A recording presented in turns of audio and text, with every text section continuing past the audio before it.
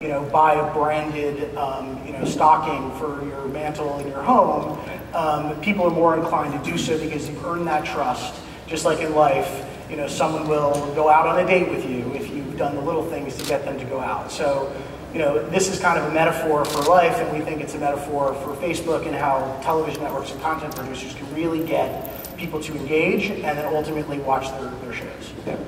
yeah, marriage is all about debits and credits. You Got to build up the debits. Um, yeah, the other thing in the press, there seems to have been in the press thing, the, in particular, fourth quarter of last year. Um, a lot of a lot of press about kind of the algorithm changes yep. know, Facebook and kind of you know some some criticisms from some brands about you know, how their brands weren't getting the same lift they used to get on Facebook because the algorithm changes.